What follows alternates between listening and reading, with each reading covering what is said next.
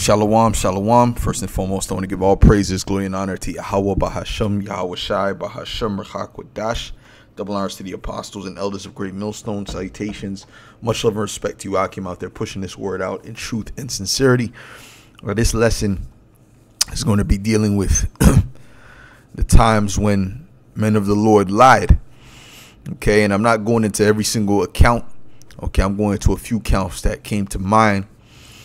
Um, you know, as I was reading at certain, you know, as I was reading um, this particular account, another account came to mind as well, which further proves that the scriptures is not black and white.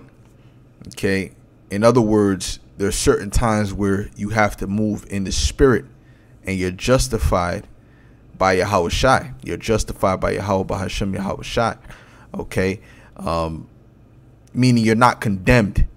You know, because if a Christian would tell you, oh, you can't lie, brother, lying is a sin. And, you know, they'll be in particular situations, you know, um, and you have certain bug outs that'll, you know, because they're so, so filled with the spirit of Jesus that they'll be like, no, I can't lie. And if I lie, uh, you know, that's a sin. And, you know, and then they'll feel condemned in their heart. But there's times when the Most High, um, the Most High commanded certain men of the Lord to lie.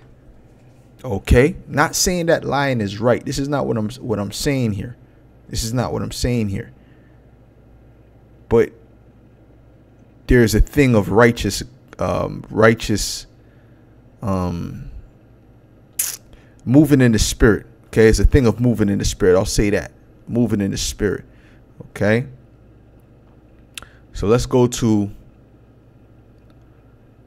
let's go to this particular account. Let's go to First Samuel's the 16th chapter. and this is when King David was about to be anointed king. Okay?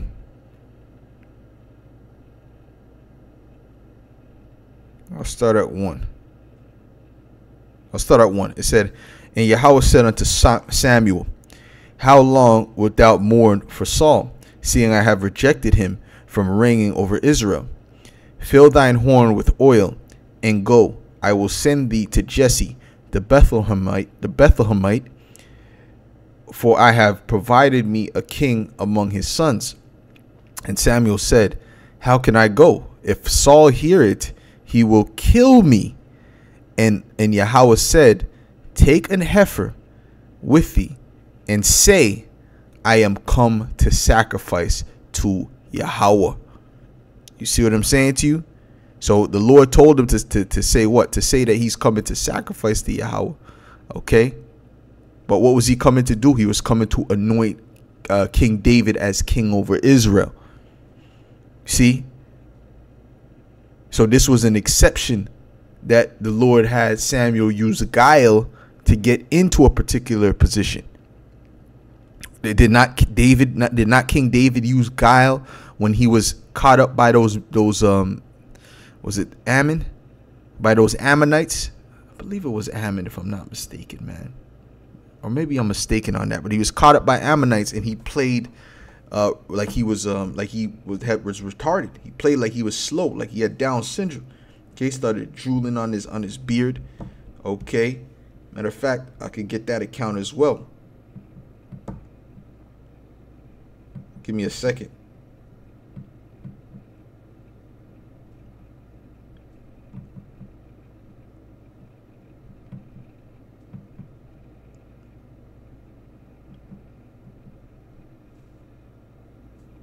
Okay, let's go here.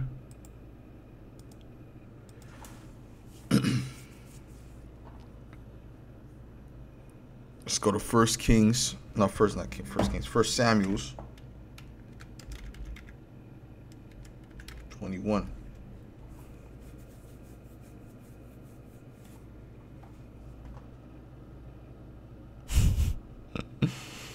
mm. You know what? I'm gonna read this. I'm gonna read this in the uh, in the NIV. I'm gonna read this in the NIV, man. Okay, so you could get a full understanding of what was going on. Okay, this is First Samuel's 21 and 13. It says, matter of fact, I'll start at verse 12. It said, matter of fact, I'll start at 10. It says, That day David fled from Saul and went to Achish, king of Gath. But the servants of Achish said to him, Isn't this David, the king of the land? Isn't he the one they sing about in their dances? Saul has slain his thousands, and David his tens of thousands. David took these words to heart and was very much afraid of Achish, king of Gath. So he pretended, which is what? Which is deceit. Okay, the scriptures speak about uh, deceit. Okay, how that's a negative thing, right? So he pretended to be insane in their presence, and while he while he was in their hands, he acted like a madman, like someone who was crazy, making marks on the doors of the gate and letting saliva run down his beard. Achish said to his servants, Look at the man. He is insane. Why bring him to me? Am I so short of madmen that you have to bring this fellow here to carry on like this in front of me? Must this man come into my house? Right. So he so so David used guile and deception to get out of that situation, which was in the spirit. Okay? He did that in the spirit. Okay? You understand? And he was not condemned. He's still the anointed of Yahweh by Hashem Yahweh Shai. Guess what? King Peter, when he denied the Lord, he really denied the Lord in the spirit because did not the Lord prophesy that he would do that? So that had to come to pass, or that would have made Yahweh Shai's uh, a, a, false prophet. That would make make Yahweh Shai's prophecy not to come to pass. You see? So it had to come to pass, man. All right? At some point, one point or another, it would have to had come to pass. That doesn't mean the prophets get everything exactly on but Yahweh Shai is Yahweh Shai, right? So that was in the spirit. That had to happen. Okay. Oh, matter of fact, the, pro- the, the actual prophecy said that he was he was um that he, he was forsaken of all. So guess what? That had to happen. That was in the spirit when Peter denied the Lord. Although that was that was off, that was wicked according to what? According to the scriptures, but it had to happen. Okay, and guess what? Peter was not condemned.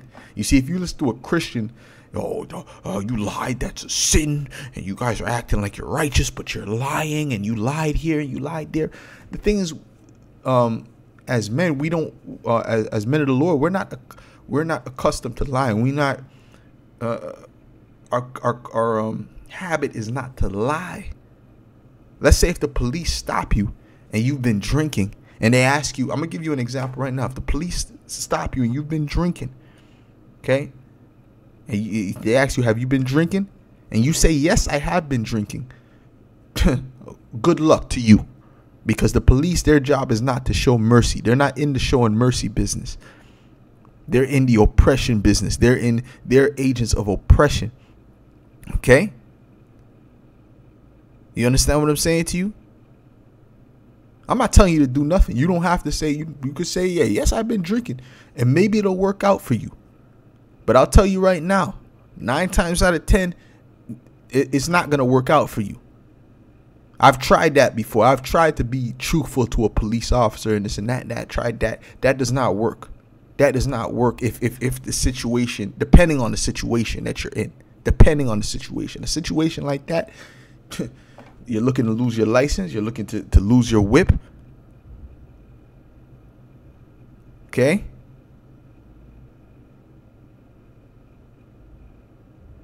So you got you have to understand, you have to be in the spirit. You have to move in the spirit. And I'm gonna I'm gonna I'm gonna show you that right in well this scenario shows you that first Samuel 16. I'm gonna read that again.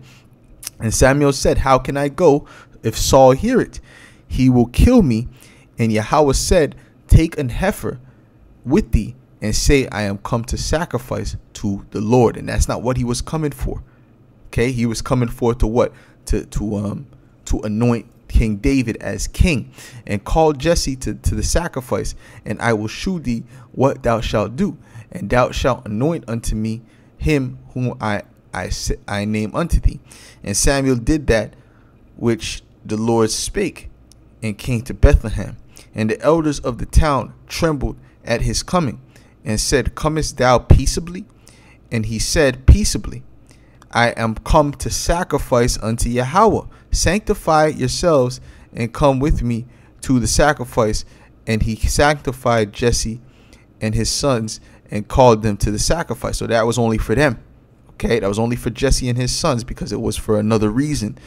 And it came to pass when they were come that he looked on Eliab and said, Surely Yahweh's anointed is before me, before him. Okay, and then he went all the way down the line, all the way to King David. And boom, and, and, and says what David anointed. Point blank, period. Okay? Point blank, period. So that's what he came for. He didn't come to to uh to um send up that sacrifice. He came, his purpose was to what? To anoint King David. But in that particular instance, because Saul would have killed him, right? He had to do this particular thing. And these things are all the scriptures say the things that are written aforetime are written for our learning. He gonna say, "Yeah, David, I'm the, the, the, spirit of the Lord is on me, and I'm going to go and uh, Saul, the spirit of the Lord is on me, and what am I doing? I'm going to anoint another king."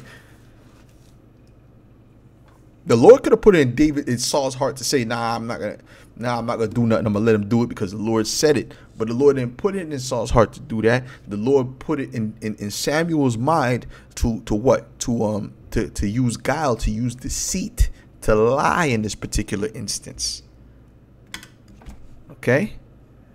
You see what I'm saying to you? So you have to understand that, and we're just showing you so that you can expand your mind dealing with the scriptures. And if and if you're of the elect, and if the Lord is dealing with you, you'll understand, and you will um, and you will um, and you will be you know you will you'll be able to understand that this thing is not so black and white as you've been taught by the Christian church. All right? Which they don't keep the commandments anyway. They're a bunch they're a bunch of liars anyway. Okay? They're they're true liars. Okay? But the thing is this, we're showing you instances where the most high has uh, where men of the Lord have lied. That's all we're showing you. Right? That's all we're showing you because they'll make it seem like the middle Lord were just sitting in the lotus position and floating, and then they never told a lie. They never, they never did any, you know, they never did anything wrong. That's not true. We're showing you that the men of the Lord. Ultimately, what I'm showing you is that the men of the Lord were were were men. They were actual men on the earth, and they had men man emotions. They did things that were wrong. They did they did certain things that were off. They did certain things that they shouldn't have done. But the thing is that they, they, they were sorrowful when they went off and they repented when they went off. Okay? And ultimately the bottom line is that they're of the elect. That's it. This is Second Kings 6, 6 and 20. It says, um, and it came to pass when they come into in, uh, into Samaria that Elisha said, Yahweh opened the uh, no no let's go up. This is when this is when the king of Syria was coming to put uh, Elijah to death, or Elisha to death, rather. Okay? And this is what Elisha did. Uh,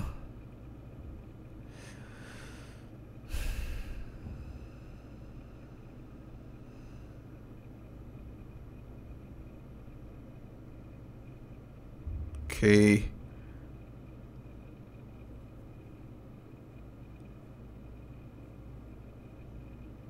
Right.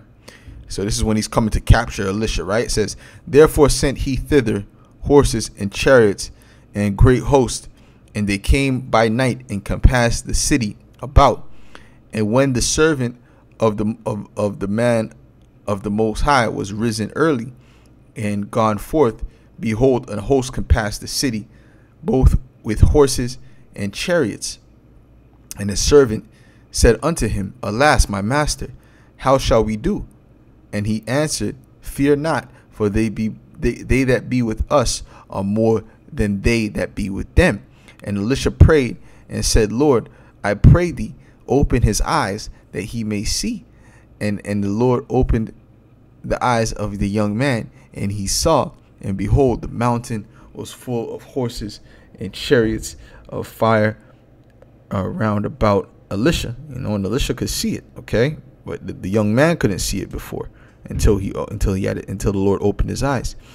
And when they came down to him, Elisha uh, prayed unto Yahweh and said, Smite this people, I pray thee, with blindness. And this is spiritual blindness. This is not, this is like how Jake is spiritually blind. This is the blindness that he smote them with. And he smote them with blindness according to the word of Elisha. And Elisha said unto them, This is not the way, neither is this this the city right? What city? The city that they were looking for right? Which which was that true? No that was a lie because he was the man that they were looking for. It says follow me and i and i will bring you to the man whom ye seek right? Which is a lie because he was the man whom, whom they seek right? But he led them to samaria. And it came to pass when they were come to samaria that elisha said yahweh open their eyes uh, open the eyes of these men and they may see. And Yahweh opened their eyes, and they saw, and behold, they were in the midst of Samaria. And the king of Israel said unto Elisha, when he saw them, My father, shall I smite them? Shall I smite them? And he answered, Thou, he answered, Thou shalt not smite them. Wouldst thou smite those whom thou hast taken captive uh, with thy with thy um, with thy sword and with thy bow set bread and water before them that they may eat and drink and go to their master. So that's it. So anyway, so he he deceived them, he lied to them, and he misled them to what? So that he can be delivered. And that's how the Lord delivered him. All right. Well, Matter of fact, um, when when um Paul was speaking to and, and see in in in vocab and them they can't get it. When Paul was speaking to was that Agrippa, he was using guile he wasn't he wasn't speaking uh, the truth about him being delivered because he's not gonna be delivered. He's an Edomite, man. Okay. Okay. If he's an Edomite, he's not going to be delivered. So if Paul was speaking to him like that, knowing he's an Edomite, then guess what? He was using guile. He was trying to butter him up for that, for what? For that particular, because of this condition that he was in. Right? since he was trying to get out of that, that condition of being in bond. So he tried to, to, to find favor. That's what you. It's like you us going in front of the judge, telling him, by the way, you're, you know, we're gonna say your honor. Do we believe that these judges are honorable? Absolutely not. But we go into a courthouse, we're gonna say your honor. All right. Nigga say, nigga, you, by the way, you a Edomite. You ain't no real judge. That's a, an idiot who would say. Only a dummy would say something like that. Only a guy who's looking to get to, who likes jail, who likes to, to, to, to be bunched up with a bunch of men in a cage would say something like that. You guys have to use common sense. Is that am I saying that lying is right? No, I'm trying to expand your mind to show you that you know that these things happen because the men of the Lord are men, and certain times they have to deliver themselves by these type of means. And I'm showing you, man. There was even an account where the Lord told a man, a man the Lord to deceive. Well, not, not just one account, but I'm just saying this, this particular account. Okay? That's the one that I could think of. It's First Samuel the 16th, 16th chapter, right? So you see, so you see, the Christian ain't gonna show you the, the full perspective of the scriptures because they don't know the full perspective. They have this plantation Christian uh, Disney World perspective of the scriptures, which is not uh, reality, man. This is Leviticus 19 and 11. It says, Ye shall not steal, neither deal falsely. Okay? Neither lie one to another. Yes, it's, it's wrong to lie. It's not wrong to deal falsely. And we are not to lie or to deal falsely. As men, has this happened before? Absolutely, it has happened before. This is why we need Yahweh Shai. That's another reason why we need Yahweh Shai. Okay? But guess what? The Lord knows our hearts. The Lord knows our hearts. Okay? It says Proverbs 17 and 7. It says, excellent speech become and like I said, we do not make lying a custom. Of course not. Of course not. Okay? And that's just to prove that you're not um another thing is that we're not um uh, we're not justified by the law. Okay, we're justified by Yahweh Shai. Okay, because if that was the case, then if it was just a thing black and white, then Peter would be condemned for denying the Lord. This is Proverbs 17 and 7. It says, and King David would be condemned for committing adultery and so on and so forth. This is Proverbs 17 and 7. Excellent speech becometh not a fool, much less do lying lips a prince. And guess what? The rulers of this world, they're accustomed to lie.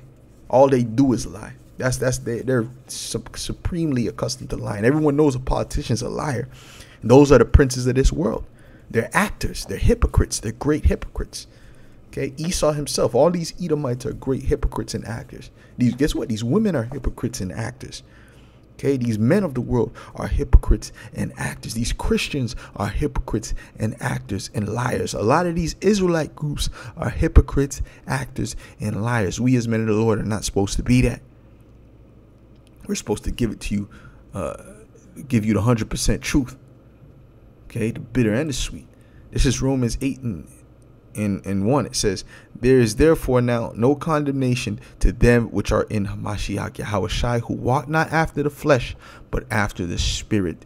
For the law of the Spirit of, uh, of life is Hamashiach Yahushai,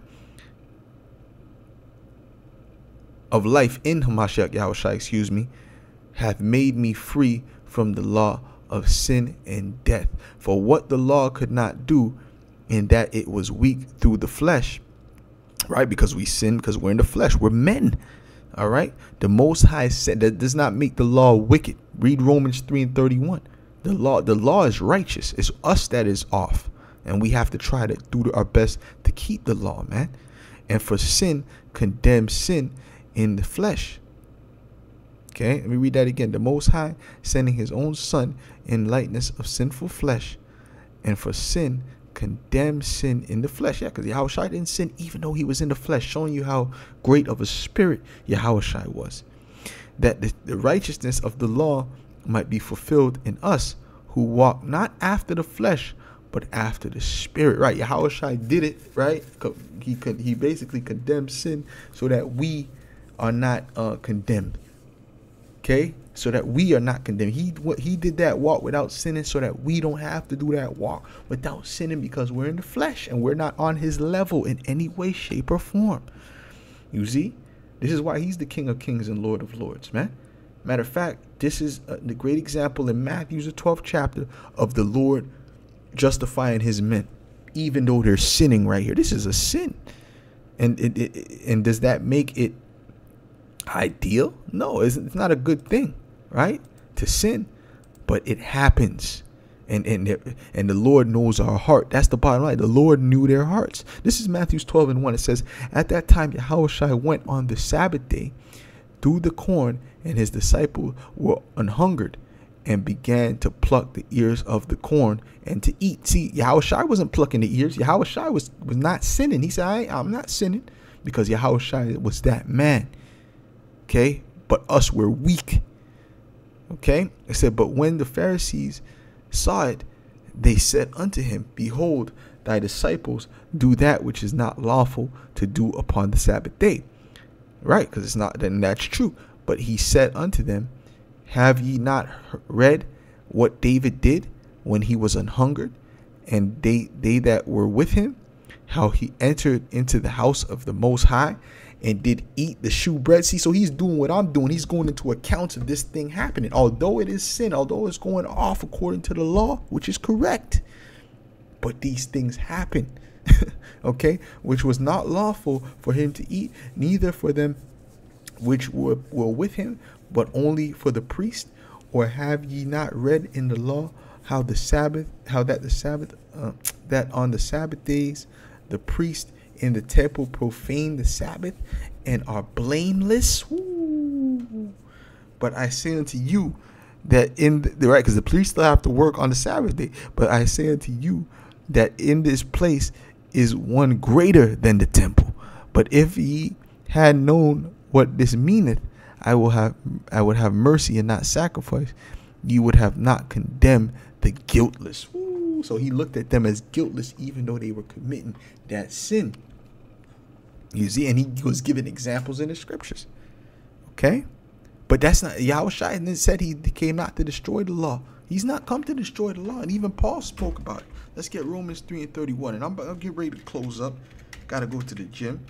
But this is this is the point, man. And you Christians don't get it because the Spirit of the Lord is not dealing with you. So you can't understand what we're saying, man. This is Proverbs, uh, Romans 33 and 29. It says, Is he the most high of the Jews only? Is he not also of the Gentiles, meaning the Israelite foreigners? That's the Gentiles, okay, not actual heathens.